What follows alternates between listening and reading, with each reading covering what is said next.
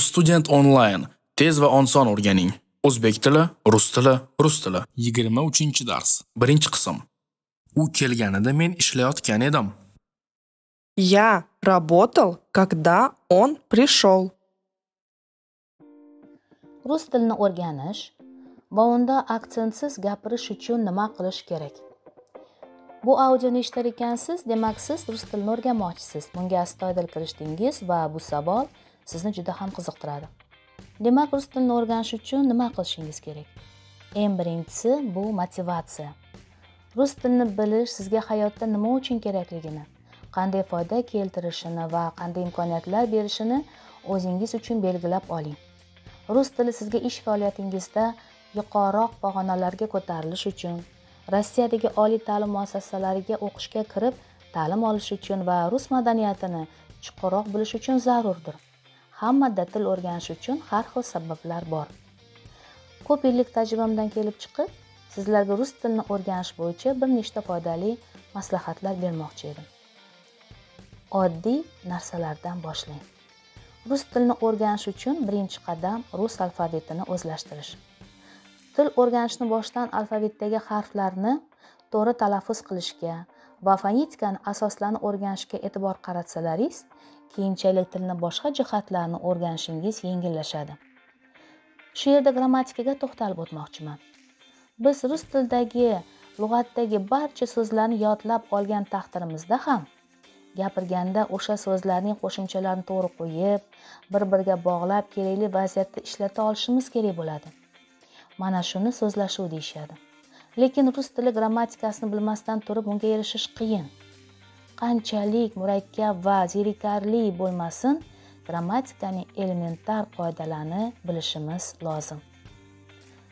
Tilni o'rganishda ko'proq rus tilida kitob o'qish kerakligini hammamiz yaxshi bilamiz. Lekin shu joyda bir narsaga sizlarni e'tiboringizni qaratmoqchiman. Rus adabiyoti judayam boy va murakkab. Shuning uchun ham sizlarga yoshingizdan qat'iy nazar bolalar uchun mo'ljallangan adabiyotni o'qishni tavsiya qilaman. Bular kichik hikoyalar ertaklar bo'lishi mumkin. Ular sodda va to'g'ri tilda yozilgan va tushunishga oson. Ularni o'qish sizlarga gaplarni chiroyli va to'g'ri tuzishni o'rgatadi. Повторение это мать учения bu ruscha maqol bo'lib uning ma'nosi ko'pchilikka tanish. Olgan bilimimizni tinmay qaytarib mustahkamlab borishimiz shart. Shundagina natija bo'ladi. Buning bir usuli. Uyingizdagi barcha jihozlarga texnika idish tovoq va boshqa buyumlarga ularning nomlari yozilgan stikerlarni yopishtirib chiqing. Yangi so'zlar yozilgan varaqlarni har doim ko'zingga tushadigan joylarga ilib chiqing. Agar iloji bo'lsa nafaqat uyda balki ish joyingizda ham. Bu sizlarga yangi so'zlarni hamisha ko'z oldingizda ushlab vaqti vaqti bilan ularni qaytarib mustahkamlab borishga imkoniyat beradi. Bu zerikarli lug'at yodlashdan qiziqarliroq to'g'rimi?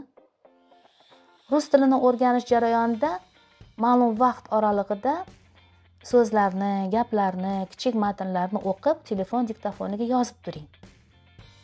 Uni vaqti vaqti bilan eshitib bundan oldingi talaffuzingiz bilan hozirgini o'rtasida farq bormi yoki yo'qmi shuni tahlil qiling. Aniqlangan kamchiliklaringizni ustida ishlab ularni bartaraf etib boring. Hamisha xotirangizga ishonmang. Har doim yoningizda yozuv daftarchangiz bo'lsin. Kun davomida vaqt topib eshitgan yangi so'zlar iboralarni yozib boring. Kun yakunida yozuvlaringizni qaytadan ko'rib chiqib tahlil qiling va kerakli narsalarni eslab qoling. Bu so'z boyligingizni oshirishga yordam beradi. So'zlarni vaziyatga qarab ishlatishga o'rgatadi. Men til o'rganganimda mana shu usulni ko'proq qo'llardim va ko'rib turibsizki bu samarasini berdi. Til o'rganishda teleko'rsatuvlar ham yaxshi yordam beradi. Televizorni faqat rus kanallarini ko'ring. Bu usul siz rus tili tashuvchilari bilan ko'p muloqot qilolmagan holatlarda yaxshi yordam beradi. Faqat ko'ngilochar kanallarni ko'rish kerak emas. O'quv sayohat ilm va madaniyatga bag'ishlangan kanallarni ko'proq ko'rishga harakat qiling. Intellektual ko'rsatuvlarda so'z boyligi ko'proq. Bu sizga turli xil sohalarga oid ko'proq so'zlarni eslab qolishga yordam beradi. Rus tilini o'rganish bo'yicha o'zlaringiz uchun mustaqil mashg'ulotlar tashkil qiling. Jadval tuzib olib unga qat'iy rioya qilib boring. Masalan bir kuni siz televizordan rus tilida ko'rsatuvlar ko'rasiz boshqa kuni kitob o'qiysiz lug'at yodlaysiz belgilangan kuni o'qituvchi bilan shug'ullanasiz va vazifalarni bajarasiz. Rus tilini o'rganishga har bir kuningizni bag'ishlang shoshilmang uni tizimli ravishda amalga oshiring. O'quvchilarni menga eng ko'p beradigan savollarim.